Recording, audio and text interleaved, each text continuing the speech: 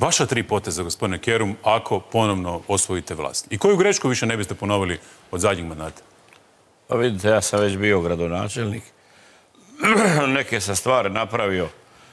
U Splitu se kaže Kerum je bar nešto učinio za razliku od drugih. Znači, u tom prvom mom mandatu od 2009. do 2013. ja sam neke stvari napravio i sa njima sam ponosan.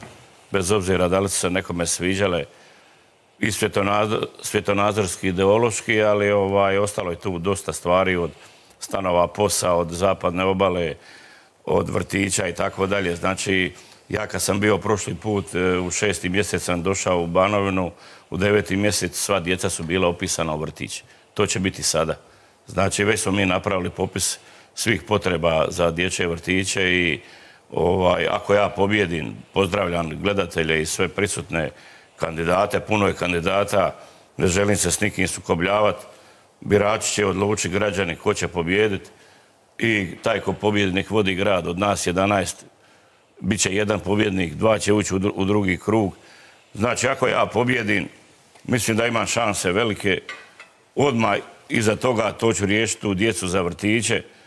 Ovaj, e, gospodin je isto spomenuo škole, to je neminovno da se riješe škole, ali ne samo škole, i dvorane, sportski tereni, igrališta, ostalo, ali puno toga i drugoga ima iz čega mi moramo financirati i vrtiće, i škole, i dvorana i ostalo. A to je novac, to je biznis.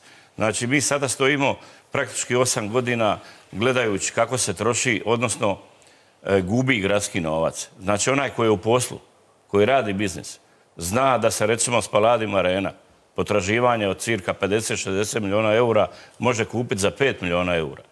Znači ja kad dođem doli odmah, postoje ljudi koji idu na pregovore, gradsko vijeće će izglasati da li oni podržavaju taj projekt. Odmah dogovor sa bankom, otkup potraživanja od tog duga za cirka 5 do 10% i nećemo ući u problem da ćemo morati nekad platiti tih 50 do 100 milijuna s kamatama.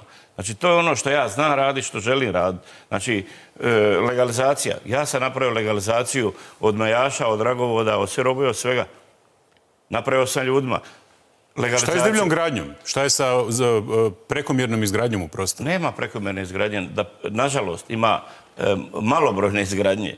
Znači, izmjena gupa koja je napravljena nakaradno od 2000 i od 2013. do 2017. koja je bila čak, mogu reći meni, koruptivna, gdje se pogodovalo i tako dalje, taj dokument je loš, taj dokument treba primijeniti i treba omogućiti investitorima da rade, ali treba omogućiti i malim ljudima da on na svojoj parceli ima pravo pristupa i ovaj, e, da da svoju ideju šta on želi i kako. Znači, puno je tih stvari koje treba napraviti, ali ja krećem odmah konkretno sa vrtićima i sa tim otkupom potraživanja, sa ratnom lukom Lora. Ratna luka Lora ne može biti u Splitu. Nek ide u Lukovo Šugarije, Lastovo Vis, gdje god hoće. Ratna luka Lora mora biti nautička luka, pored ulaza u Split, e, e, sjeverna luka gdje možemo napraviti ogroman prihod iz čega se može isfinancirati i vrtići, i škole, kongresne dvorane, i pazar, i istog grada i sve ostalo.